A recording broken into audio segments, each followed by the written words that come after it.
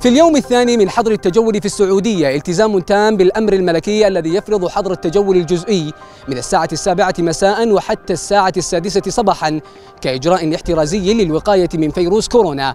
هنا في منطقة القصيم وعلى طريق الملك عبد العزيز الشريان الرئيسي لمدينة بريدة الذي كان سابقا يكتظ بالمركبات لكن الآن يكاد خاليا من أي مركبة بعد ساعات الحظر.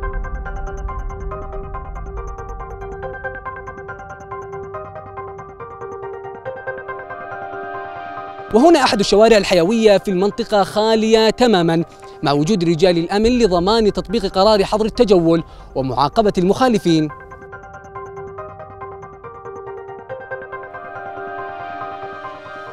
يأتي قرار حظر التجوال ضمن حزمة قرارات اتخذتها السعودية للحفاظ على المواطنين والمقيمين على أرضها.